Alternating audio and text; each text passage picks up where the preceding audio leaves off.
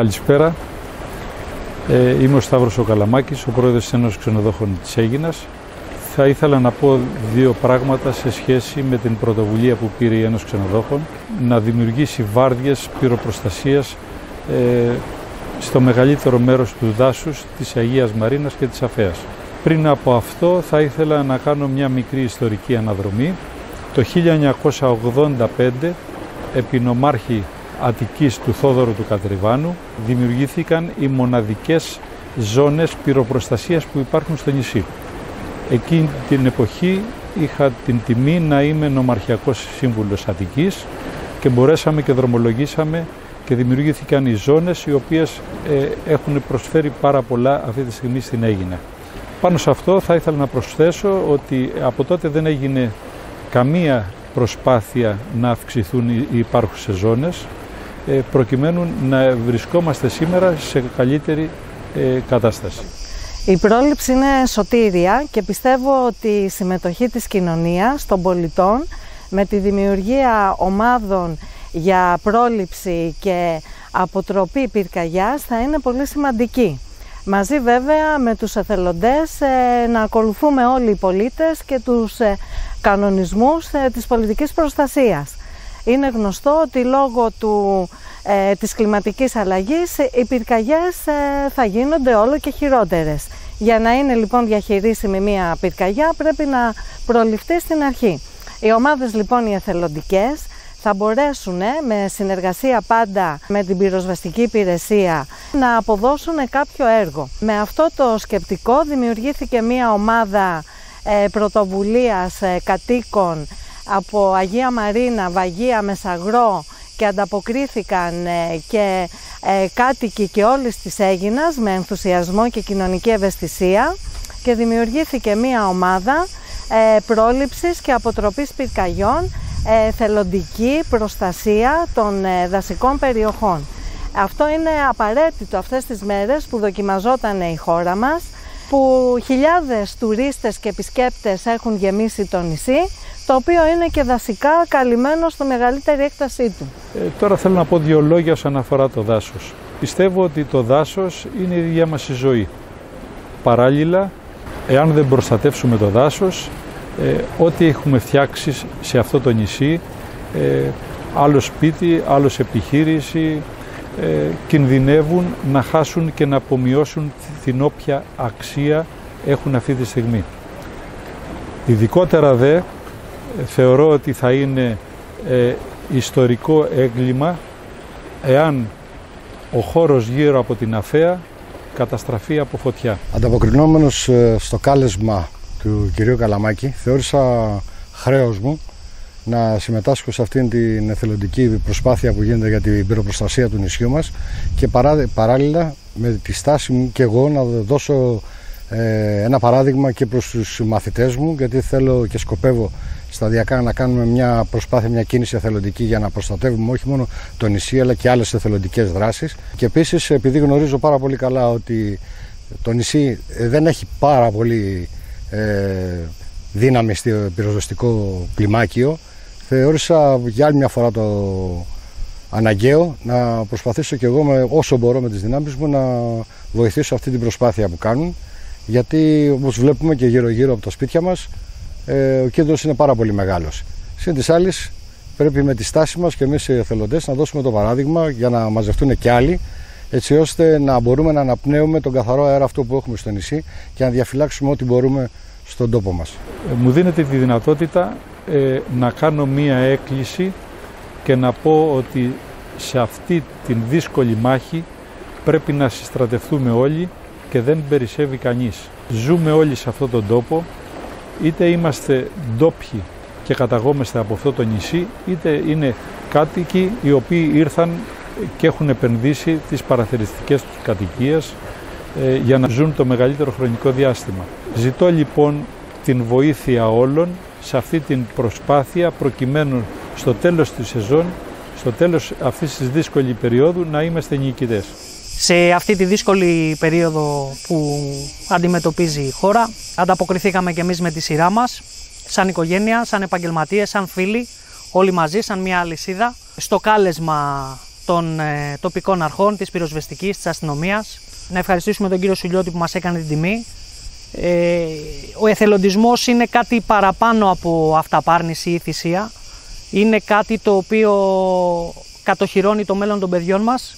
Γι' αυτό και εμείς ε, συμμετείχαμε, συμμετέχουμε και θα συμμετέχουμε αν χρειαστεί στο μέλλον.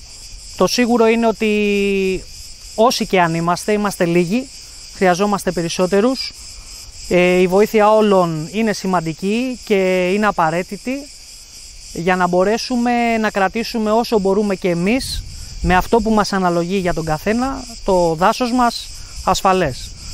Εγώ θα καλέσω όλους τους φίλους και τους γνωστούς μέσω αυτού του βίντεο ε, να συμμετέχουν ε, σε αυτή την προσπάθεια. Άλλωστε δεν είναι κάτι ιδιαίτερα δύσκολο, δεν μας τρώει ο ήλιος, δεν στεκόμαστε πολλές ώρες. Κάνουμε το καθήκον μας, κάνουμε αυτό όπως είπα προηγουμένως που μας αναλογεί και θεωρώ ότι είναι τουλάχιστον υποχρέωσή μας να βοηθάμε τους ανθρώπους που επί 24 ώρου βάσεως μας προσέχουν. Είμαι 25 χρόνια στη διάσωση και σε πολλές εθελοντικές ομάδες.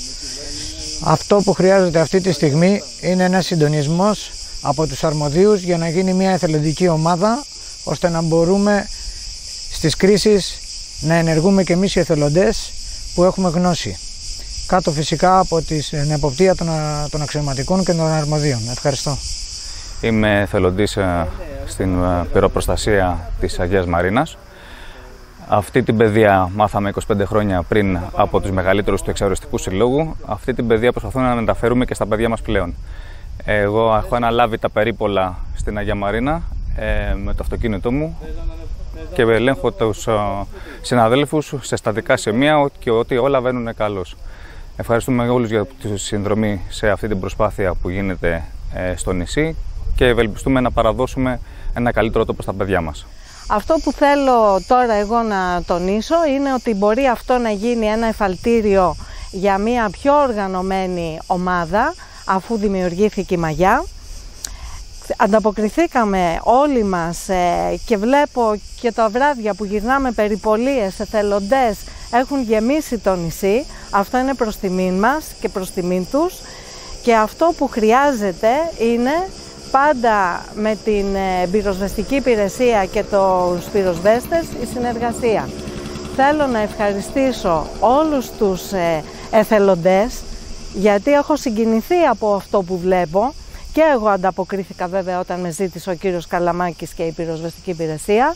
Ε, θέλω να συγχαρώ επίσης τους πυροσβέστες μας που άγρυπνοι όλο το 24ωρο είναι φρουροί για την ασφάλειά μας και επίσης θέλω να πω και ένα ξεχωριστό μπράβο στο διοικητή του πυροσβεστικού κλιμακίου, τον κύριο Γιώργο Σουλιώτη, για τις πολύτιμες υπηρεσίες που προσφέρει στο νησί.